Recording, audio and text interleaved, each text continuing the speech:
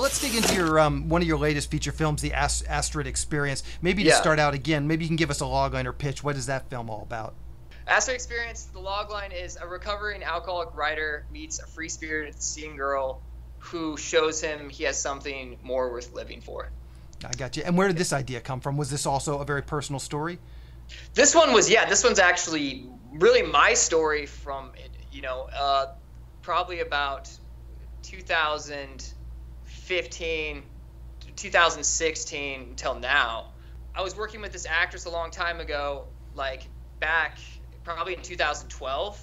I wanted to do something with her, really low budget that we could shoot over a night, you know, and shoot very cinema verite, mumblecore almost style, mm-hmm. just just to make something. You know, I was just very frustrated with my million plus dollar projects. I couldn't get off the ground, and I'm just like, let's just grab a camera and shoot.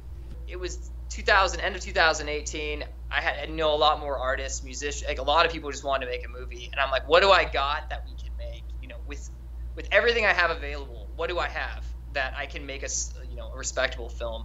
So I brought out I had this little 50 page first draft kind of of the script, and I just uh, infused everything from 2012 until now basically into that script and made it very personal and very uh, modern. Thanks for checking out this clip from the Selling Your Screenplay podcast. If you'd like to hear the full interview, just go to sellingyourscreenplay.com slash podcasts. Or to go directly to the episode, just use the link in the show notes. Thanks for watching.